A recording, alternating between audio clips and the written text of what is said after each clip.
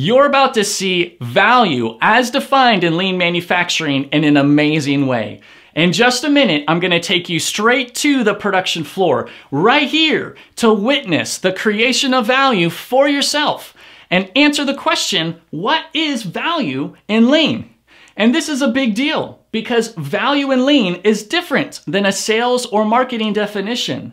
And if you don't get this, you're at risk of wasting an enormous amount of time, money, and people's potential, their brain power. Of course, you'll also witness waste or what's called non value adding activity and understand one of the central ideas in lean eliminating waste. This short clip comes to you from my course, Learning to See Waste, where in a 35 minute visionary experience, I teach these basic concepts that you must have a hold of in order to engage everybody, transform your organization, and survive and thrive for years to come. So without further ado, here's the clip where I answer the question, what is value in lean? Let's go ahead and jump into the difference between value and waste. This is a big deal, a huge deal. Waste gets into the very heart of lean manufacturing, eliminating waste. So, one of the very first things you must learn is how to distinguish between what creates value and what is wasteful. Here's what I mean value is whatever the customer is willing to pay for. It's what the customer wants. Waste is everything else. To take this a little bit further, a value adding activity is anything that transforms material into what the customer wants. And a wasteful activity is anything that does not transform material into what the customer wants. So we're looking at actual transformation into something that's closer to what the customer is willing to pay for. Here's some examples of value adding activities. Here's an operator assembling two parts together. Here he is applying plumber's tape to the thread, and now he's applying glue to some other parts, and here he's tightening a nut on one of these parts. All of these examples are of value adding activities because they actually transform the product. These are the only activities that matter because they're the only ones that create value and transform the product.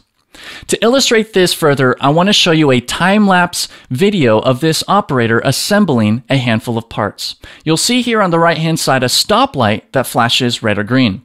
Whenever he's doing something that creates value, it flashes green. Whenever he's doing something that's wasteful, it flashes red.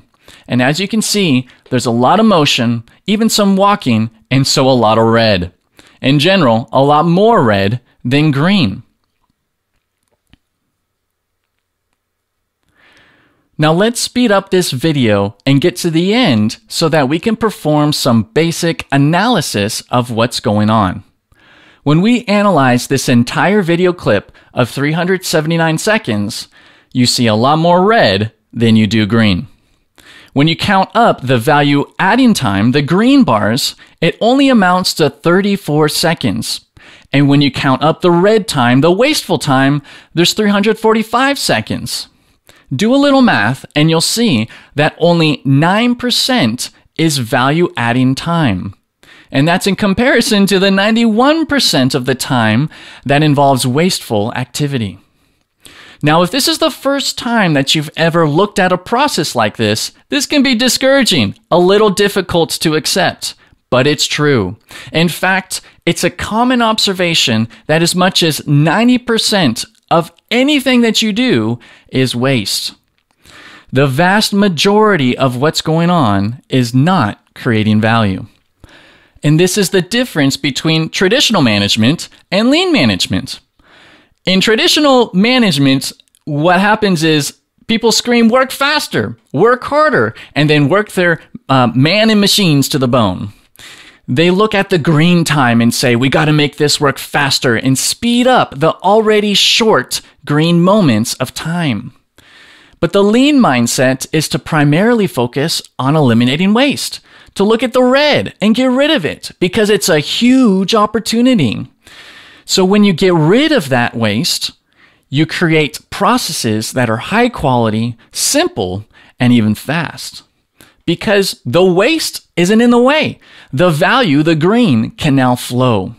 So now I hope that the what you just saw is just the beginning. And there's not time or space in this video to show you all the things I want to show you, like real life manufacturing examples of the seven wastes, or why 5S matters so very much, or the evils of overproduction and big batching, or the critical role of standardization, or why Kaizen, continuous improvement, is everyone's responsibility. So to learn more, it's time to enroll in the Lean Smarts Academy, where I have more videos just like this one that are fun and simple. Just click the link on this video or in the description below and begin unlocking the potential of every person in your organization to see value and to eliminate waste.